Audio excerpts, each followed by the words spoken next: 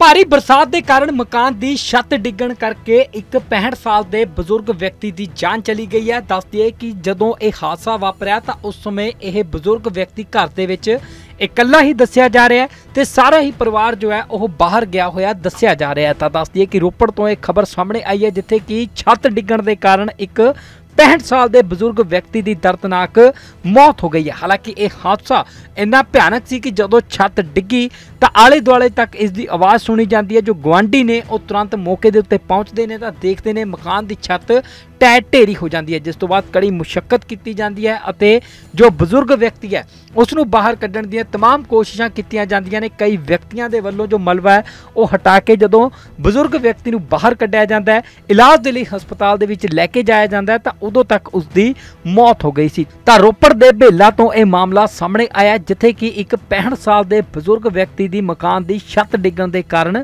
ਮੌਤ ਹੋ ਗਈ ਹੈ ਜੀ ਉਹ ਕੌਣ ਹੈ ਕੀ ਵਾਰਦਾਤ ਹੋਈ ਸਰ ਵਾਰਦਾਤ ਤਾਂ ਗਾਡਰ ਉੱਪਰ ਤੇ ਵਜਨ ਵਜਨ ਪਾਣੀ ਖੜ ਗਿਆ ਪਾਣੀ ਕਰਕੇ ਥੱਲੇ ਲੱਫ ਗਿਆ ਉਹ। ਮੂਚਣੇ ਕਰਕੇ ਉਹ ਵਜਨ ਪਿਆ ਥੱਲੇ ਨੂੰ ਅੰਦਰ ਨੂੰ ਗਿਰ ਗਿਆ। ਇੱਕ ਗਾਡਰ ਦਾ ਥੱਲੇ ਦੱਬ ਵੀ ਕਰ ਦੇਣਾ ਇੱਕ ਮੂੰਹ ਪਾ ਵੱਜ ਗਿਆ ਇੱਥੇ ਵੱਢ ਹੋ ਗਿਆ। ਜਿਹੜੇ ਪਏ ਸੀਗੇ ਉਹਨਾਂ ਦਾ ਕੀ ਨਾਮ ਹੈ ਕਿੰਨੀ ਕੁ ਉਮਰ ਹਜ਼ਾਰਾ ਸੀ? ਸਿੰਘ। ਕਿੰਨੀ ਕੁ ਉਮਰ ਸੀ? ਹੋ ਗਈ 50 ਦੇ ਗੇੜ ਹੈਗਾ। ਕੱਲੇ ਉਹੀ ਪਏ ਸੀਗੇ ਹੋਰ ਉਹੀ ਤਾਂ ਕ- ਬਾਕੀ ਇੱਥੇ ਮੈਸਾਂ ਦੀਆਂ ਇੱਕ ਕਟੂਰੇ ਦੱਬ ਹੋਇਆ ਤਾਂ ਇੱਕ ਮੈਸ ਉੱਥੇ ਖੜੀ ਸੀ ਸਾਈਡ ਤੇ। ਇਹ ਕਿੰਨੇ ਕੁ ਵਜੇ ਦੀ ਘਟਨਾ ਹੈ? ਕਿੰਨੇ ਕੁ ਵਜੇ ਸਾਢੇ ਕੁ ਅੱਠ 8 ਹਾਂ ਸਾਢੇ ਕੁ ਅੱਠ ਵਜੇ ਦੀ ਹੈ, ਕਿਹੜਾ ਪਿੰਡ ਹੈ ਜੀ ਇਹ? ਫਿਰੋਜ਼ਪੁਰ। ਤੁਹਾਡਾ ਨਾਂ ਕੀ ਹੈ ਬਾਬਾ ਜੀ? ਹਰਬੰਸ ਸਿੰਘ। ਅਸੀਂ ਜਦ ਮੈਂ ਇੱਥੇ ਤੇ ਗਿਆ ਮੈਂ ਡਿਊਟੀ ਚੱਲ ਗਿਆ ਤਾਂ ਜੀ ਥੀਮ ਪਾਰਕ ਚਮਕੌਰ ਸਾਹਿਬ ਜੀ। ਤੇ ਜਦ ਜਦ ਵੀ ਮੈਨੂੰ ਫੋਨ ਆਇਆ ਬਾਅਦ ਵਿੱਚ ਕਹਿੰਦੇ ਛੱਤ ਗਿਰ ਗਈ ਜੀ ਕੋਠੇ ਦੀ। ਛੱਤ ਦੇ ਥੱਲੇ ਦੱਬਿਆ ਪਿਆ ਦਿਖਿਆ ਜੀ ਸਾਨੂੰ ਤਾਂ। ਉੱਥੇ ਉਹਦੇ ਸਿਰ 'ਤੇ ਸੱਟ ਵੱਜੀ ਜੀ ਬਹੁਤ ਬੁਰਾ ਹਾਲ ਹੋਇਆ ਜੀ। ਮਾਰ ਜਦ ਡੈਥ ਹੋ ਗਈ ਥੋੜੀ ਡੈਥ ਹੋ ਗਈ ਤੀ ਜੀ ਇਹਨੂੰ ਲੈ ਕੇ ਗਏ ਹਸਪਤਾਲ ਨੂੰ ਜੀ। ਰੋਪੜ ਜੀ। ਇਹ ਕਿੰਨੇ ਕੁ ਵਜੇ ਦੀ ਘਟਨਾ? ਹੈ? ਇਹ 8:30 ਵਜੇ ਦੀ ਗੱਲ ਆ ਜੀ। ਛੱਤ ਗਿਰਨ ਦਾ ਕੀ ਕਾਰਨ ਹੋਇਆ ਜੀ? ਛੱਤ ਗਿਰਨ ਦਾ ਕੋਈ ਕਾਰਨ ਨਹੀਂ ਹੈ ਛੱਤ ਦਾ ਬਿਲਕੁਲ ਸਹੀ ਸੀ ਜੀ। ਆ ਮੀਂਹ ਕੇ ਨੀਚੇ ਜਿਹੜੇ ਮੀਂਹ ਕੇ ਨੀਚੇ ਪਾਣੀ ਪੂਣੀ ਦੇ ਕੈਟਿੰਗ ਨੀਚੇ ਗਿਰ ਗਈ ਜੀ। ਜੇ ਮੀਂਹ ਪਈ ਗਿਆ ਸਾਰੀ ਰਾਤ ਦਾ ਜੀ ਉਹਦੇ ਕਰਕੇ ਗਿਰ ਗਈ ਜੀ। ਬਾਕੀ ਛੱਤ ਦਾ ਬਿਲਕੁਲ ਕੋਈ ਬਾਲਾ ਨਹੀਂ ਦਾ ਸਾਰਾ ਕੁਝ ਸਭ ਕੁਝ ਠੀਕ ਸੀਗਾ ਗਾਰਡਰ ਸੀਗਾ ਥੱਲੇ। ਵੱਜ ਕੇ 25 ਮਿੰਟ ਦੀ ਘਟਨਾ ਹੈ। ਇਹ ਇੱਕੋ ਦਮ ਜਦ ਗਿਰੇ ਨਾ, ਤੇ ਅਸੀਂ ਇੱਥੇ ਦੇ ਨਾਲ ਹੀ ਸਾਡਾ ਘਰ ਆ, ਆਏ ਅਸੀਂ, ਤੇ ਜਦ ਦੇਖਿਆ, ਮੈਂ ਸੇ ਇੱਧਰ ਖੜੀ ਸੀ, ਕੱਟੀ ਇੱਧਰ, ਤੇ ਫਿਰ ਉਹਨਾਂ ਨੂੰ ਬੁਲਾਇਆ ਗਿਆ, ਜਿਹੜੇ ਹਜ਼ਾਰਾ ਸਿੰਘ ਦੇ ਸਪੁੱਤਰ ਆ। ਉਹਨਾਂ ਨੂੰ ਬੁਲਾ ਕੇ ਫਿਰ ਬੁਲਾ ਕੇ ਤਾਂ ਬੁਲਾਇਆ, ਤਾਂ ਉਹਨਾਂ ਨੇ ਦੱਸਿਆ ਵੀ ਡੈਡੀ ਵੀ ਇੱਥੇ ਨੀਚੇ ਆ।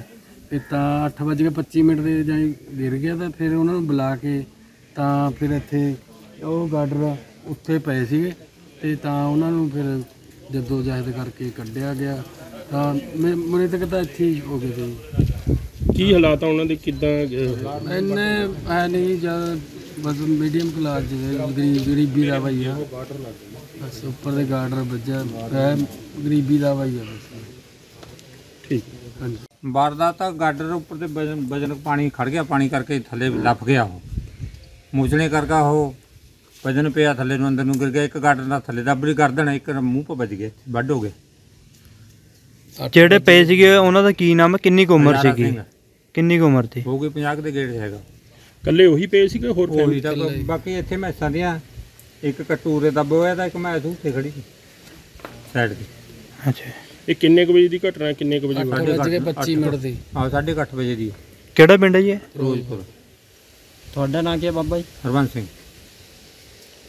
ਮੈਂ ਉਹਨਾਂ ਦਾ ਛੋਟਾ ਲੜਕਾ ਉਹਰੇ ਬਾਹਰ ਖੜੇ ਸੀ ਤੇ ਗੱਲਬਾਤ ਕਰਦੇ ਸੀ, ਉਹ ਇੱਕਦਮ ਉਹ ਮੁੰਡਾ ਡਿਊਟੀ ਨੂੰ ਚਲ ਗਿਆ ਤੇ ਮੈਂ ਉੱਥੋਂ ਬਸ ਸਕਿੰਟਾਂ 'ਚ ਇੱਥੇ ਹੀ ਪਹੁੰਚੇ ਜਾਨੂੰ ਇਹ ਪੂਰਾ ਇੱਕਦਮ ਹੀ ਥੱਲੇ ਗਿਰ ਗਿਆ।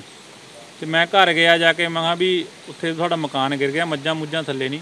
ਤੇ ਸਾਡੀ ਚਾਚੀ ਕਹਿੰਦੀ ਵੀ ਚਾਚਾ ਵੀ ਤੇਰਾ ਉੱਥੇ ਹੀ ਹੈ ਚਲੋ ਫਿਰ ਉਰੇ ਆ ਕੇ ਅਸੀਂ ਦੇਖਿਆ, ਸਾਰਾ ਫੋਲਿਆ ਫਾਲਿਆ ਤਾਂ ਉੱਥੇ ਉਹਨਾਂ ਦੀ ਪਿੱਠ ਸੀ ਜਿਹੜੀ ਜਿੱਦਾਂ ਪਾਠ ਕਰਦੇ ਸੀ, ਉਦਾਂ ਹੀ ਇੱਕਦਮ ਮੂਰੇ ਨੂੰ ਹੋ ਗਏ।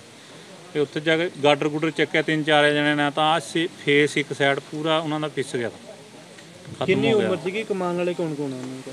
ਕਮਾਨ ਵਾਲੇ ਤਾਂ ਜੀ ਬਸ ਆਪਣਾ ਆਈ ਤੇ ਆਈ ਹੋਵੇ ਤੇ ਇੱਕ ਮੁੰਡਾ ਤਾਂ ਵਿਚਾਰੇ ਹੈਂਡੀਕੈਪਡ ਆ ਦੂਜਾ ਕਿਤੇ ਉਹ ਕਰਦਾ ਸਿਕਿਉਰਿਟੀ ਗਾਰਡ ਲੱਗਿਆ ਹੋਇਆ, ਰੋਪੜ। ਇੱਕ ਮੁੰਡਾ ਸੀਟੀਯੂ ਚ ਹੀ ਮੈਂ ਕਿਹਾ ਜ਼ਮੀਨ ਜਾਇਦਾਦ ਆਪਣੇ ਕੋਲ ਠੀਕ ਠੀਕ ਹੈ। ਇੰਨੀ ਨਹੀਂ ਹੈ। ਬਾਈ ਕਾਈ ਚਲਾਈ ਲਾ ਲਓ। ਉਹੀ ਸਰਕਲ ਚੱਲਦਾ ਸੀ ਜੀ ਬਸ ਕੱਲ ਇਹ 25 ਮਿੰਟ ਦੀ ਘਟਨਾ ਹੈ। ਇਹ ਇੱਕੋ ਦਮ ਜਦ ਗਿਰੇ ਨਾ, ਤੇ ਅਸੀਂ ਇੱਥੇ ਦੇ ਨਾਲ ਹੀ ਸਾਡਾ ਘਰ ਆ, ਆਏ ਅਸੀਂ, ਤੇ ਜਦ ਦੇਖਿਆ, ਮੈਂ ਸ ਇੱਧਰ ਖੜੀ ਸੀ, ਕੱਟੀ ਇੱਧਰ, ਤੇ ਫਿਰ ਉਹਨਾਂ ਨੂੰ ਬੁਲਾਇਆ ਗਿਆ, ਜਿਹੜੇ ਹਜ਼ਾਰਾ ਸਿੰਘ ਦੇ ਸਪੁੱਤਰ ਆ। ਉਹਨਾਂ ਨੂੰ ਬੁਲਾ ਕੇ ਫਿਰ ਬੁਲਾ ਕੇ ਤਾਂ ਬੁਲਾਇਆ ਤਾਂ ਉਹਨਾਂ ਨੇ ਦੱਸਿਆ ਵੀ ਡੈਡੀ ਵੀ ਇੱਥੇ ਹੀ ਨੀਚੇ ਆ।